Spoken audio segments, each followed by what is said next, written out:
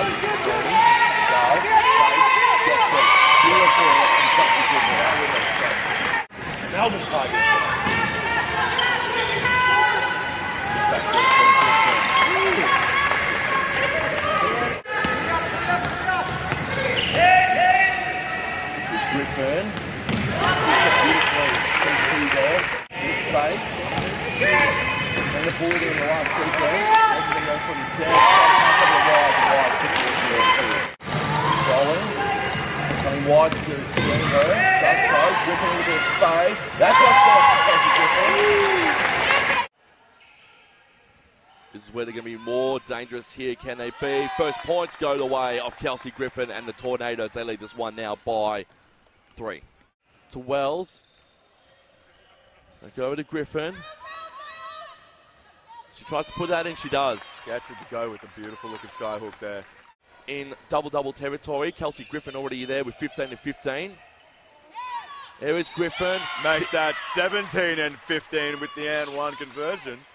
And again, it's the three usual suspects for the Tornadoes that have put up for the Tornadoes in this game this afternoon. Oh, Froling went to work there.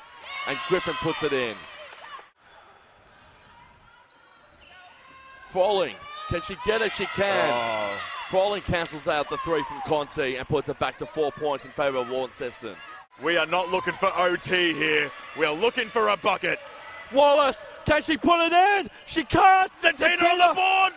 She loses it. Man, that's it. We're going into OT.